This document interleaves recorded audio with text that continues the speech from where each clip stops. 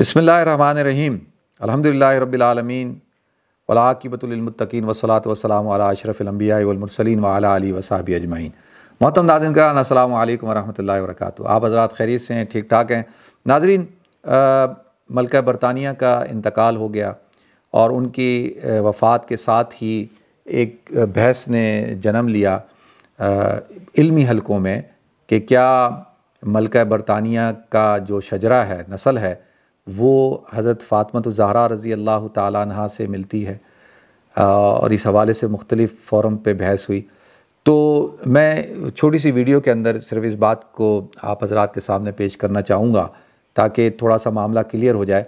आप मेरे सामने ये पीछे फ्रेम देख रहे हैं।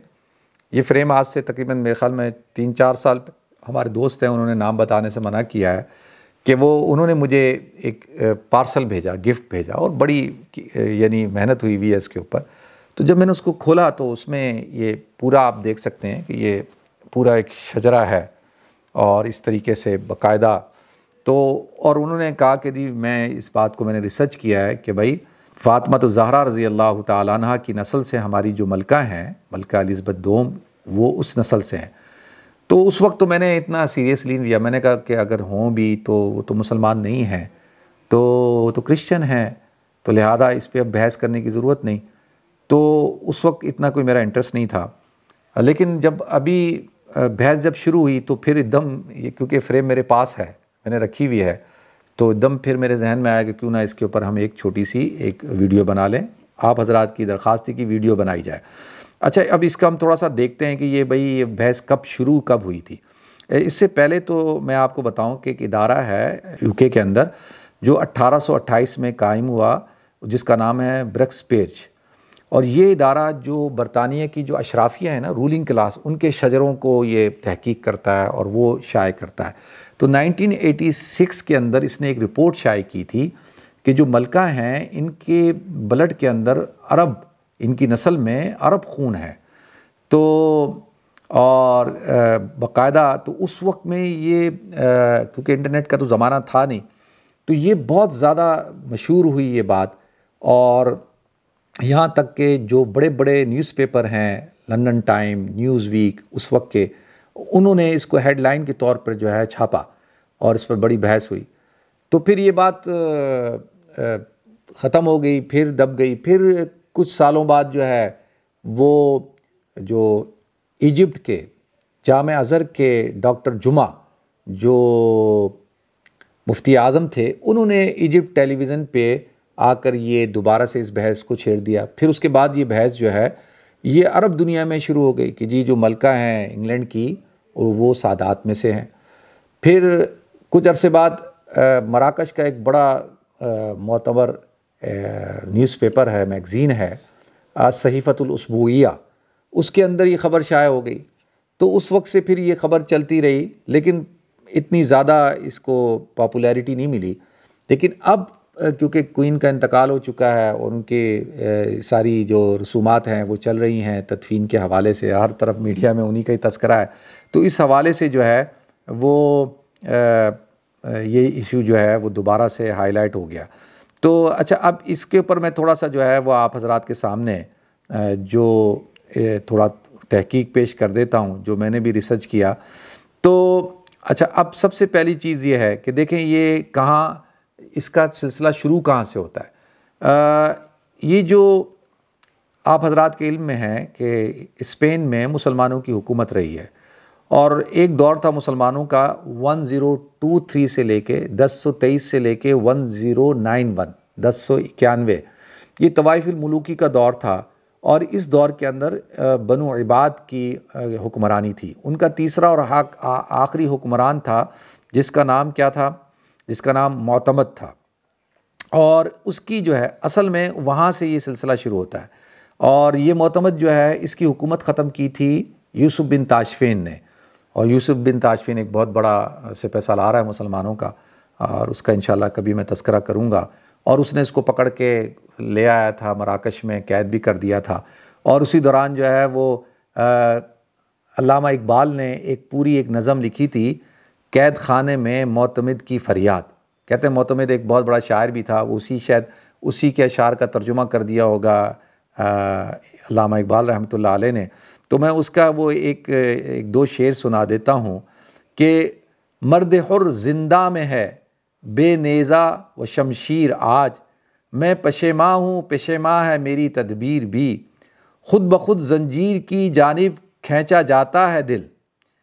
थी उसी फौलाद से शाहिद मेरी शमशीर भी। तो ये पूरी एक नज़म है तो जो अल्लामा इकबाल रहमत ने उनके हवाले से लिखी। तो अब ये जो देखते हैं कि जो मोतमर है, मोतमद, कि इसकी जो एक बेटी थी, जिसका नाम जायदा था।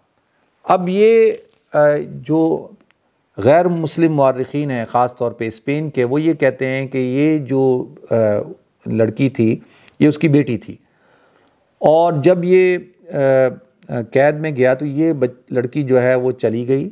और किश्तालिया एक जगह थी, वहाँ का बादशाह था, हुक्मरान था अल्फ़ानसो और उससे जाके उसने शादी कर ली उसके पास, यानी उसकी रखेल हो गई, बांदी हो गई, शादी कर ली।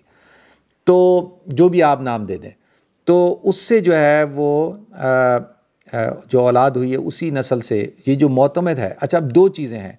एक चीज़ तो क्या है, देखें, एक चीज़ मैं आपको सामने क्लियर करूँ। अलअसबू, जो सहीफ़तुलसबूया है, उसके शजर के मुताबिक कि एक नाम, इसकी बेटी थी, उसका नाम क्या था? जायदा था। वो किश्तालिया चली गई, जहाँ पर उसने इस मसीह हुक्मरान अल्फ़ांसो शिशम से उसने जाके शादी की।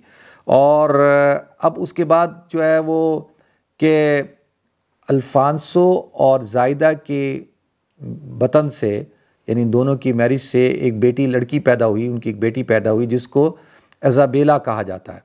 और अजाबेला की एक सगड़ पोती जो है उसकी अजबेला कश्ताली की शादी जो है, उसका नाम भी अजबेला था, उसकी शादी जो है तेरह जुलाई तेरह सौ बहत्तर को बरतानिया के शहज़ादा एडमिंट ऑफ़ लैंगली से हुई।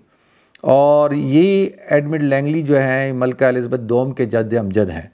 तो अब इस मफरूज़े के मुताबिक वो कहते हैं कि जायदा जो है, उसके जो नसब से, वसीले से ये अरबों से जुड़ते हैं। और उन्हीं की वसात से मोतमद जो है, वो सैद ख़ानदान से था तो ये उस नस्ल से, सादात से जाके मिल जाती हैं। तो अब ये देखें बड़ा इंटरेस्टिंग स्टोरी का है कि रुख। लेकिन अब थोड़ा सा मैं आपके सामने इस चीज़ को क्लियर कर देता हूँ कि पहली बात यह है कि ये जो जायदा है ना, कि इसका जो जो नसब है, वो मलका एलिज़बत दोम से मिलाया जाता है। लेकिन जायदा का मोतमद से क्या रिश्ता है? ये बड़ी अहम बात है ना, जो मैं पहले भी अर्ज़ कर चुका हूँ कि ये उसकी क्या बेटी थी, बहू थी, या उसकी बांदी थी, क्या थी? इस हवाले से बहुत मुबम है। कहीं पे भी कोई चीज़ क्लियर नहीं है।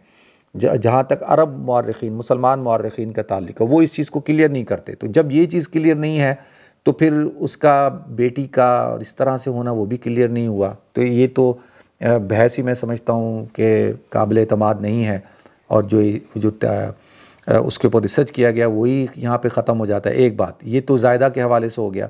अब दूसरी बात ये है, अगर खींच तान के जायदा का ताल्लुक़ मोतमद से मिला दिया जाए कि जी मोतमद की बेटी थी, तब भी ये साबित करना मुश्किल है कि मोतमद हज़रत अली रज़ी अल्लाह तु और हज़रत फ़ातिमा की औलाद में से था। यानी ये तो इसको फिर साबित करना पड़ेगा। तो अब उसके मुताबिक जो है, यानी जो ब्रिक्स पेज के मुताबिक मोतमद का शजरा जो है, वो बारहवीं सिलसिले में जहरा बिनते हुसैन से जा मिलता है। जो इमाम हुसैन, जो इमाम हसन की पोती थी, ठीक है, उनके मुताबिक। अब मामला ये है कि तारीख़ की जो मुस्ंद किताबों में हुसैन बिन हसन उनका असल नाम जैद था कुनीत अबुल हुसैन थी और उनकी किसी जहरा नामी बेटी का तस्करा नहीं मिलता। उनकी तीन औलादें थीं। एक का नाम हसन बिन जैद था, जो अब्बासी दौर में मदीना के गवर्नर थे और एक का नाम मोहम्मद था, जो बचपन में इंतकाल कर चुके और एक बेटी थी जिनका नाम नफीसा था। तो इसलिए इससे बात साबित होती है कि वो तो उनकी औलाद में से भी कहीं से तस्करा नहीं मिलता। तो अब इन, इस तमाम बहस का ख़ुलासा क्या है? कि देखें ख़ुलासा ये है कि नसब जो है वो बाप की तरफ़ से चलता है और मलका की हज़रत अली तक शजरे में दो चार नहीं, बल्कि तेरह ख़वातीन आती हैं।